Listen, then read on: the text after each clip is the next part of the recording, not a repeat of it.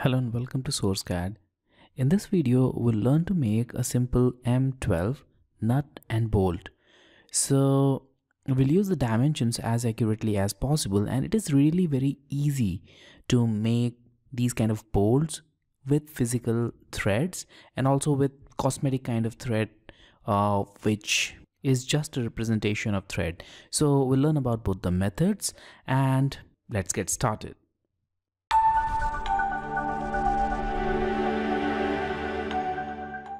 So we'll start with the model workspace and here in Fusion 360 uh, we are right now in model workspace as you can see here. If not you can switch to model workspace. And as always we'll first start with sketch. So I'll go to sketch I'll select create sketch and I'll start from a plane. Uh, most preferably I'll start with this plane. All right. Now I'll type C for circle and from this origin I'm going to make the first circle. And the diameter for this circle should be 12 unit in this case 12 millimeter because we are making M12 nut and bolt so the diameter should be 12 for that. All right there it is. Let's stop sketch. All right and I'll go to extrude. I'll orbit this drawing a little bit. I'm going to select this one. And now I'll extrude this up to a height of 76 and enter. Let's zoom out a little and there we have it. Okay, now let's make the cap here. And to do that, I'm gonna go to sketch again and I'll select this plane on the top. Now I'll go to sketch and polygon and in this case let's select circumscribed polygon and I'll click here again on the origin and I'll make it with the diameter of 20 unit. So 20 and enter. Well, now that's a radius of 20. So I'm going to double click here and I'll make it 10. That's it. That's more like it. Okay, so now we have the polygon. Let's constrain it. It's not yet fully constrained. So I'm going to select this vertex and this one and I'll go to this constrain option and I'm going to make it vertical. Now this is fully constrained. Let's stop sketch. Now I'll go to the same plane again and the same one here and I'll make another sketch on this. So I'll go to circle now. So we can simply type C for circle and the same center and this vertex right there. So the circle is also added. Once again, let's click stop sketch. Now we have two different sketches and we'll use them uh, for making the cap so I'll go to extrude and I'll extrude the circle, just the circle. And I'll add a height of 7.6 unit. Okay, and press enter. Now we can add a fillet here. So I'll go to modify, fillet, this vertex, and the fillet is 2 mm. All right, and enter again. Once again, let's go to extrude, and this time select this polygon. So carefully make a selection here for the polygon and again extrude it and this time again add the height of 7.6. So 7.6. Now here you need to make a different kind of selection here in the operation. Right now you can see that it is cutting the geometry which we don't want. We want a completely new body here. So just go to this new body and create a new one here and click on OK. All right. So we have a completely new body, which is a polygon. But now let's inspect the bodies which we have. We just have two bodies. One of the body is this complete body that includes the cap, the circular cap, as well as this cylindrical part, as well as the body too, which is just the polygon. So we need to make sure that this cylindrical cap is separate from this body. And for that, I'll go to modify and I'll select split body. That will split this complete body in two parts. So I'll select this body that we need to split and we need to split using this plane. So I'll select this splitting tool and I'm going to click on this plane right there. So there we have it, the plane that will split the body in two and click on OK. So now we have three bodies, this, this and this. So we have this polygon, this cap circular cap, polygon, cap and the rest of the body. And now we can make boolean operations here. So I'll go to modify combine and well select both the bodies. So I'll select this from browser. So body 1 body 2 these are just the two bodies the polygon as well as the cylindrical one. In the operation select intersect. We just want to keep the common part from both the bodies click on ok and that's it. That's what we actually wanted here. All right the cap is also added. Let's add the threads. And it's also kind of very easy. To add the threads you need to go to create and thread. And since you have already made this thing with the diameter of 12 unit fusion is smart enough to pick the proper kind of thread for this. There it is. So it will automatically select m12 thread and the kind of coarse thread in this case 1.75 is the pitch value which it has selected. But you can change that. So let's make some modifications and make some adjustments here. So the first thing is the length of thread which is kind of full length. We don't want that. So I'm gonna just uncheck this. And now you can specify the length up to which you want this thread. So the length that we want for this case is 36 unit. And tab so up to 36 unit we want this thread. Now this is isometric profile size is 12 mm and this is m12 1.75 pitch value for the thread. Let's just make it a little bit finer kind of thread so 1.5 maybe. So m12 1.5 okay that's the thread we, which we want. Now in this case the thread is a cosmetic thread. So if you just rotate this one look at this.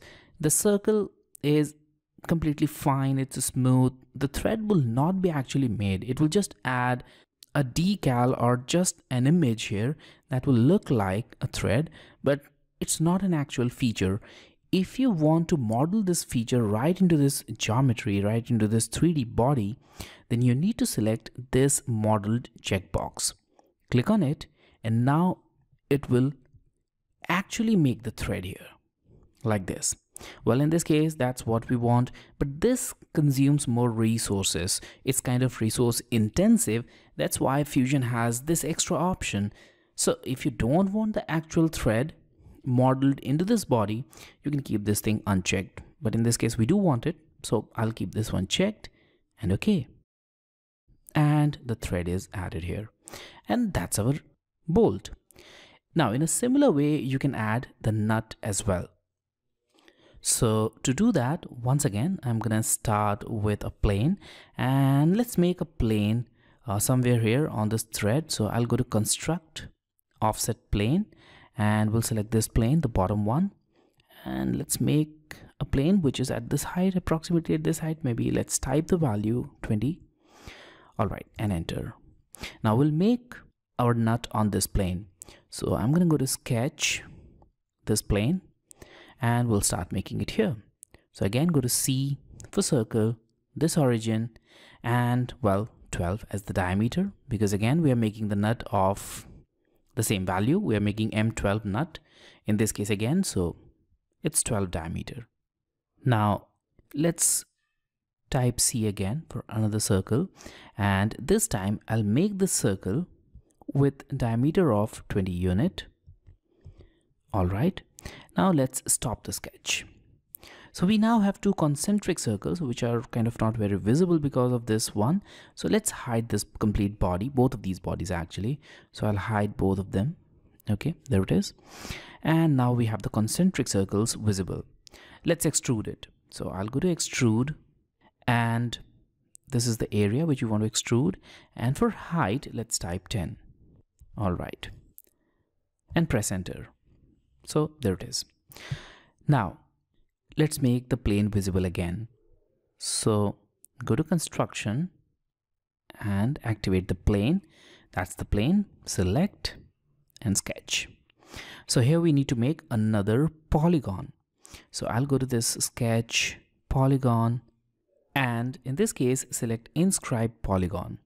So I'll select the center and now you can see that we have radius value here. So we need to add the radius. So let's type 10 as the radius and press enter. That's it, that's our polygon. All right, so before extruding the polygon, we'll just add the fillets to the existing drawing here and to do that we need to stop the sketch again so stop sketch we have the polygon here but before doing that let's add the fillets so I'll go to modify fillet we'll add two fillets here here as well as on this edge. The radius should be 2 again in this case. So 2 and tab key that looks good and okay. Okay. Again extrude and this polygon and the same height. That is 10 and press tab key. So there it is. And in this case also you can either make a new body or you can make an intersection right inside this. So just go to this operation and select intersect. And now it will make this intersection in which only the common part of both the bodies will be retained. So click on ok and here it is. Now let's activate the remaining bodies. So there it is. So that's the complete body. Here is the nut and the bolt. But we still have three different parts here and actually two bodies. So these two needs to be combined together. And to do that again I'll go to modify combine. I'll select this body and this one. And we need to join them. Select join and okay. All right. Now we just have two bodies.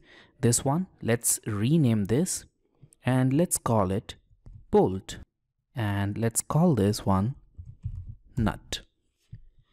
Now let's do a section analysis and let's see how these threads behave here and how they look.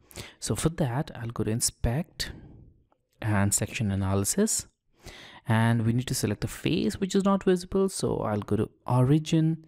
I'll turn on this light bulb icon, click on this plane and we have the section analysis. Let's click on OK and now we can clearly see the section view here. Let's look at the thread here okay? That looks kind of okay here. We have it properly inside. Now we need to add the thread right inside this as well. So we have the thread here but not inside this. So let's do that quickly. So I'll deactivate this analysis light bulb here so that we have both the things. And now let's hide bolt.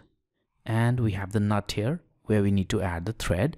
So I'll go to create and thread, click inside here, and again, use the same parameters. So 1.5 M12, 1.5, and it should be modeled and click on OK. And it's added. Okay, let's activate this and also activate the analysis once again. All right, that is okay. The thread is added but they are kind of meshing which we should not i mean which should not happen in any case. So let's just move this drawing a little bit. You can do that using assembly tools as well but in this case we'll just move the nut here. So i'll select the nut and i'm going to type m for move.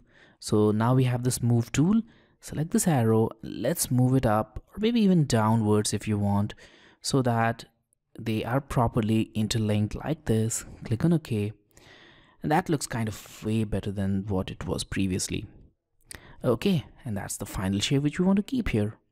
So now I'll once again deactivate analysis. And there it is. So here is our final nut and bolt M12 nut and bolt in Fusion 360 so I hope you like this video. If you have any question related to this don't forget to let me know in the comments below and don't forget to share it as well. I hope to see you soon in another video. Thanks for watching.